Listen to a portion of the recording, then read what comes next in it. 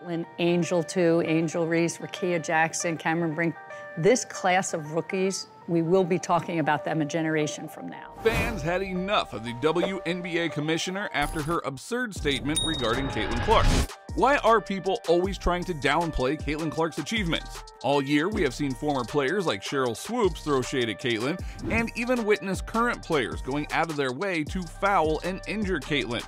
However, she has overcome all of these trials and tribulations and put together the greatest rookie season of all time. But that's not good enough. Now, the WNBA commissioner made it a point to diminish Caitlin's greatness. You would think that she would have nothing but good things to say about someone who completely changed the league for the better, but guess not. By the end of this video, you will see why fans are angry at the WNBA commissioner for her recent comments. Since coming over to the WNBA, Caitlin's stardom has only increased. She was tasked with leading the Indiana Fever back to relevance after a seven year playoff drought, along with carrying the WNBA to new heights. And she did just that. Along with the record for the most consecutive point assist double doubles in a rookie season, the most double doubles by a rookie guard, the first rookie to record a triple double, the single game leader in three point field goals made by a rookie, and she is the youngest player to record a double double with points and assists in back to back games. Those are just some of her accomplishments. She has also had some unbelievable moments this season. However, League Commissioner Cathy Engelbert sparked controversy recently as she refused to put this clear exponential growth of interest in the game down to just the Clark phenomenon. Fans to the league, if you look at our historic season around uh, our attendance, our viewership, Caitlin, Angel 2, Angel Reese, Rickea Jackson, Cameron Brink. This class of rookies, we will be talking about them a generation from now. Now, it is true that this was the most stacked rookie year in a long time. However, the class is clearly spearheaded by Caitlin Clark. The WNBA has seen an increase in attendance, merchandise sales, and advertiser interest. On top of that, there has been an increase in social media posts and media coverage of league games, bolstering the league's growing popularity. Indiana Fever have seen dramatic increases in ticket sales and prices since Caitlin entered the league. The average price of a ticket to a Fever game is now $144, which is up 133% from last year. Now that is incredible. The get in price for the Fever's home opener against the New York Liberty on May 16th was $487. Additionally, tickets for the draft in Brooklyn, New York sold out within 15 minutes. Before Caitlin, you wouldn't have a hard time getting a ticket, but now you have to queue in line early in the hopes of nabbing a seat. And what was even crazier was the fact that teams and resellers were jacking up prices for games against the Indiana Fever before Caitlin even made her debut. As a result, the WNBA recently signed a new media rights agreement and will be adding four new franchises in the upcoming years. Prior to Caitlin entering the league, the average resale ticket price was $50, but now it is 87. The average purchase price for Indiana Fever road games in 2024 is $108, which is 151% more than the $43 price from 2023. The purchase price for most teams entering the 2024 season is generally higher when they play the Fever than their average games. TickPick had sold 222% more tickets for WNBA games this year versus this time last year. In 2024, attendance increased by nearly 50% from 2023. The average attendance was up by percent double digits for all 12 franchises. Indiana led with an average home attendance of 17,035 at Gainbridge Fieldhouse, a year over year increase of 319%. Indiana's regular season finale in Washington set a league attendance record with 20,711 spectators. Caitlin can be thanked for that. The commissioner is right to mention that Angel Reese, Rickea Jackson, and Cameron Brink are stars, but they have clearly not elevated the game to the same level as Caitlin. However, the commissioner seems to be dead set on downplaying what Caitlin has accomplished. I notice when you're asking about Caitlin a lot, you, you bring up other rookies as well. No league's ever about one player. That player could get hurt or whatever. So I think it's just to give recognition that in sports, people watch for compelling content and rivalries. And you can't do that alone as one person. In reality, this simply isn't true. What the numbers are saying is that Caitlin's WNBA is completely different than the previous iteration. For the regular season, nationally televised WNBA games averaged 657,000 viewers, the highest audience in 24 seasons. Televised games with Caitlin Clark's Indiana Fever averaged 1.18 million viewers compared to 394,000 for all other games. 22 games averaged over 1 million viewers, 19 of which involved the Indiana Fever. The previous high had been in 1998 when 15 games averaged over 1 million viewers.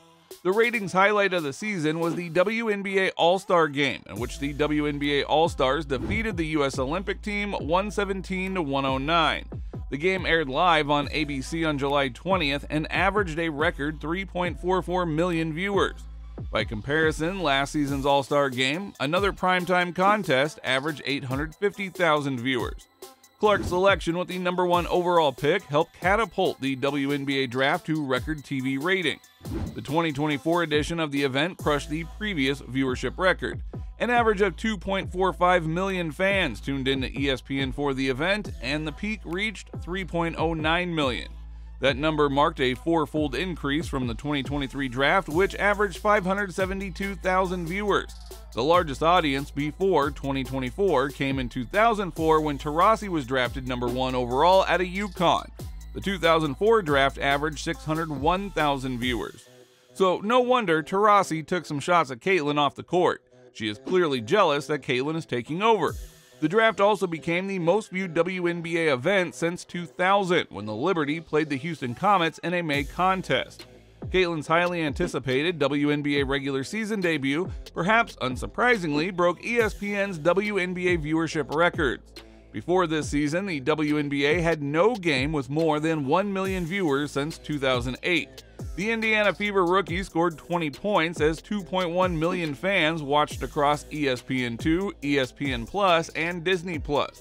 It was the most watched WNBA game on any ESPN platform in history. The Fever Sun matchup peaked at 2.3 million viewers. This mark broke the previous record set on May 22, 2004, when Diana Taurasi played her second career WNBA game.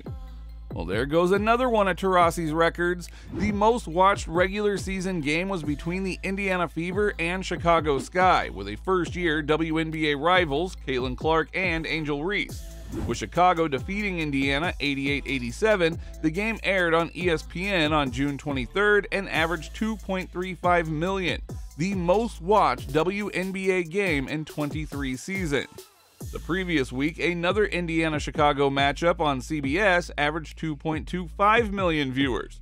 The rising tide lifts all boats, and Caitlin is that tide. Another clear example of how Caitlin is the main driving force behind the surge in WNBA popularity is seeing what happened to the viewership once Caitlin and her Fever team were eliminated from the playoffs. The first game between the Aces and Liberty, a rematch of last year's WNBA finals between two of the league's most popular and successful teams, drew an audience of 929,000, ESPN had announced. This is 50% less than the Fever Game 1 against the Sun. Still, it was historically good for any WNBA playoff game that does not involve Caitlin, as it was better than any of the TV numbers for the finals games between the two teams last year.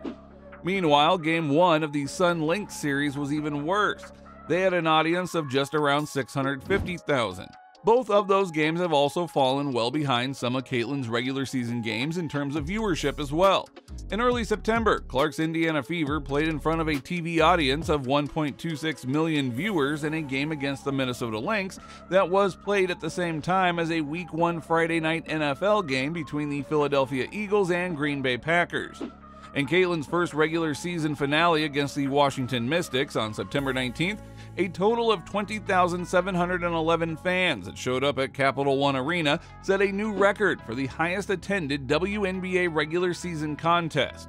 On the TV front, Caitlin made the Fever the most watched team in the WNBA by a landslide in her rookie year, as the 14 most watched WNBA games of the season all included the Fever. Now, you would think that the commissioner of the league would know what's going on with her league better than the fans, but clearly she doesn't. Instead of showcasing Caitlin as a once in a generation talent, she is trying to downplay her achievement, and in doing so, hurting her own business. When in reality, Caitlin has been a force of nature who has changed everything about the WNBA.